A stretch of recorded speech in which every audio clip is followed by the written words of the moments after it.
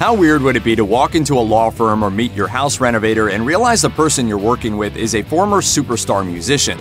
Those things could happen because some former musicians have given up the limelight and now work totally normal jobs. Few rappers rose to fame as quickly as Vanilla Ice did back in 1990 when Ice Ice Baby was all over the radio and his album To the Extreme was number one for four months. But it's also true that few rappers have gone out of favor as quickly as Vanilla Ice did.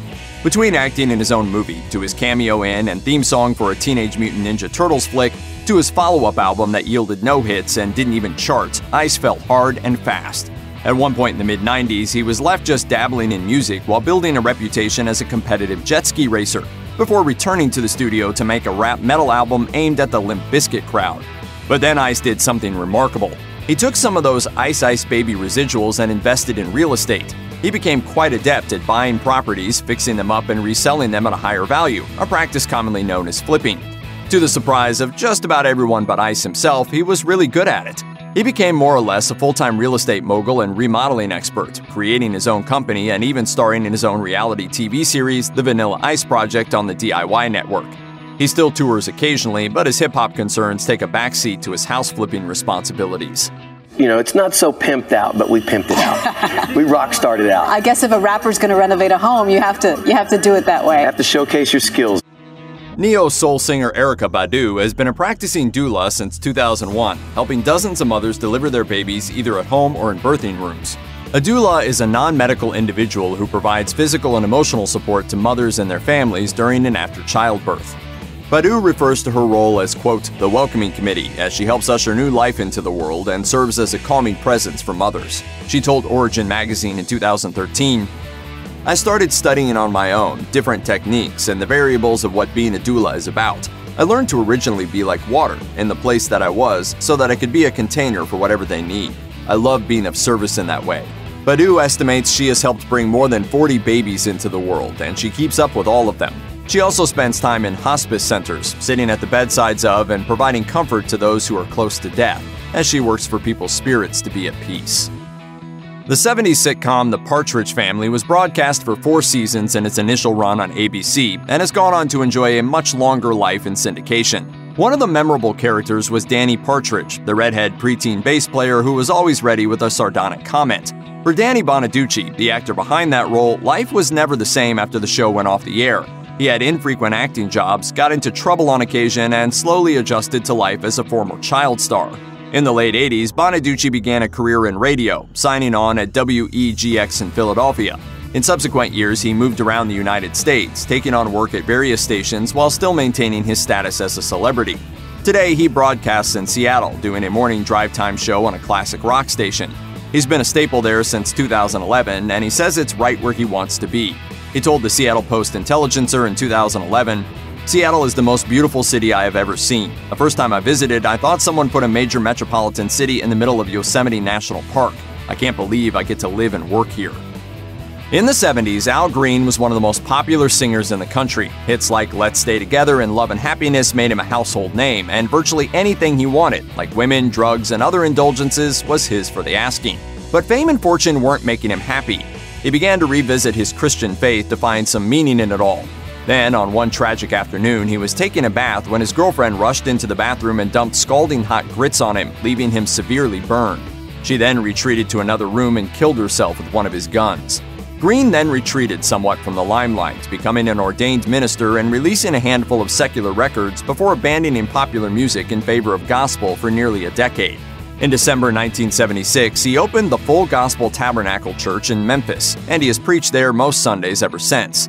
Often, regular church members have to share the pews with visitors who come for the experience of seeing Green preach.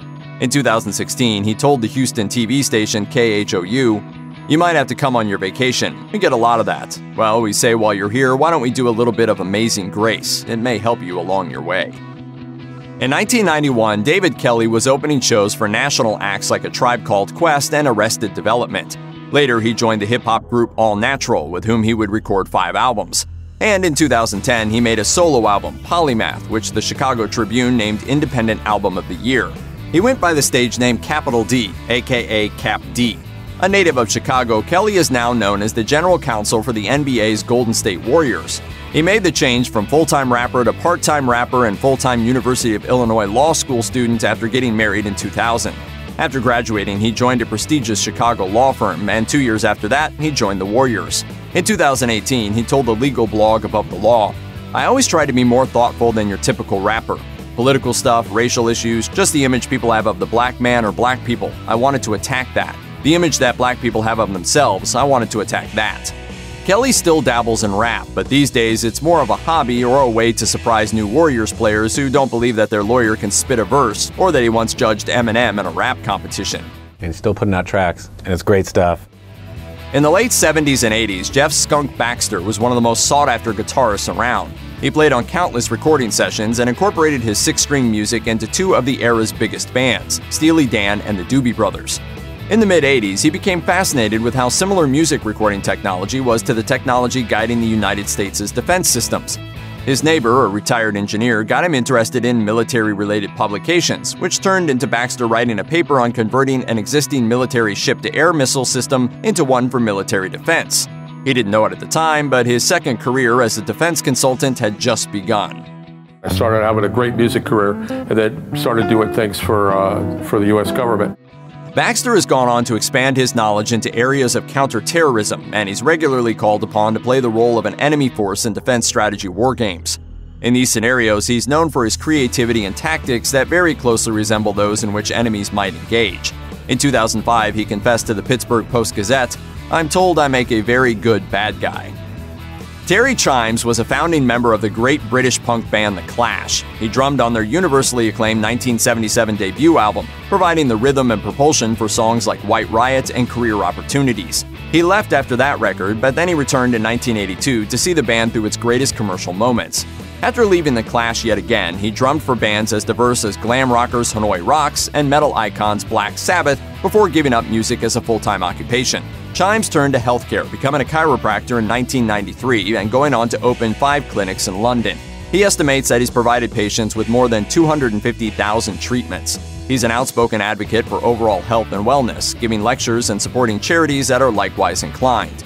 He told the BBC in 2006 People say, How can you prefer treating patients to being on stage in front of 100,000 people? But if you can get someone healthy, there's a satisfaction in that which is much more profound.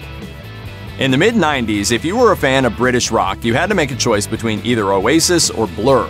The two bands seemed to vie for the top of the charts more or less constantly.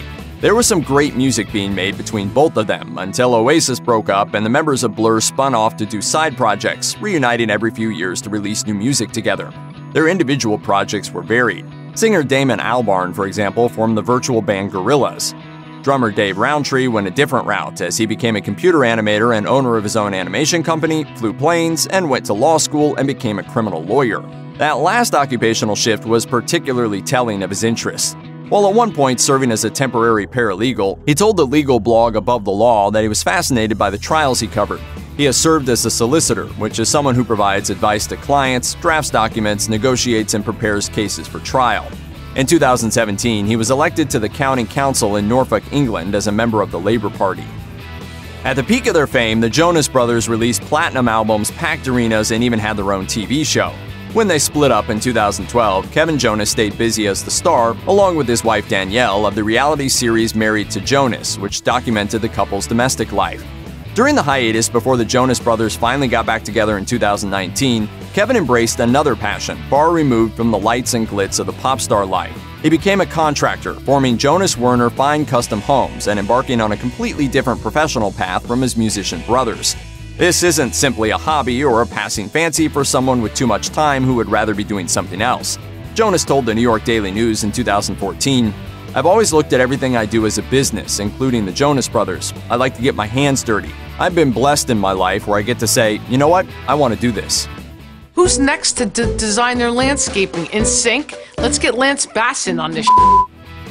Growing up, Greg Graffin had what he once called a, quote, congenital distaste for authority.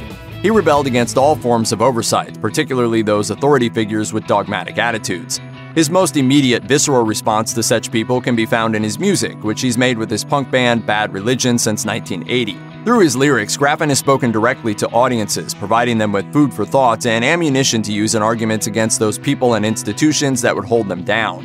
Outside of music, Graffin works in academia. He holds a PhD in zoology from Cornell University and acts as a lecturer in life sciences, paleontology, and evolution. Regarding his personal life, he does not subscribe to any religion, though he doesn't consider himself an atheist. He instead argues that he's a naturalist. He told the Denver Post in 2010, I want some fact based evidence about where we came from. Things we consider mysterious need not be attributed to a deity. In a way, such beliefs are a continuation of a lifelong rebellion against authority. And today, you know, at punk rock shows, you see just as many students as you do music fans. Many of them, like myself, are both. Check out one of our newest videos right here. Plus, even more grunge videos about your favorite musicians are coming soon. Subscribe to our YouTube channel and hit the bell so you don't miss a single one.